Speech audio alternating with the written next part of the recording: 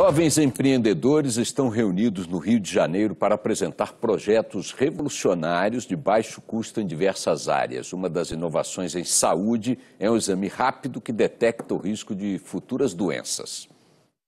Como anda a sua saúde? Você tem tendência a desenvolver doenças crônicas? A resposta pode estar na ponta do dedo. Com um rápido exame de sangue, medidas de peso, altura e pressão e algumas respostas sobre hábitos de vida, o programa dá, se necessário, o sinal de alerta. Você tem que mudar os seus hábitos, consumir menos refrigerante. Agora eu tenho que me cuidar, né? A pessoa passa poucos minutos no posto, que pode ser montado em qualquer lugar, mas depois as orientações continuam por recados que chegam no celular. Dizendo, por exemplo, que é preciso fazer mais exercícios, que está na hora de fazer um exame, de procurar um médico.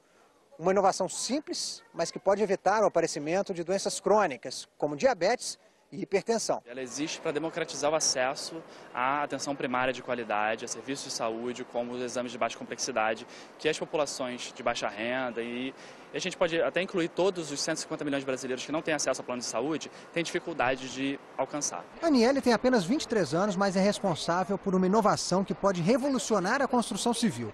Este tijolo de concreto é produzido por uma máquina que interpreta o desenho feito no computador formas que seriam impensáveis pelo método tradicional. Numa indústria como a construção civil, onde se perde de 30% a 50% dos materiais que se compram para processos tradicionais de alvenaria, eu já estou falando de uma redução de custo muito significativa. As novidades estão sendo apresentadas num evento de novas tecnologias no Rio de Janeiro. Ronaldo vendeu a agência de publicidade que comandava para se dedicar integralmente ao Hugo. O programa eleito pela ONU como o melhor aplicativo social do mundo é um tradutor de português para a língua brasileira de sinais. O Hugo ele é uma mãozinha que ajuda surdos e ouvintes a se aproximarem, a se comunicarem, a se interagirem.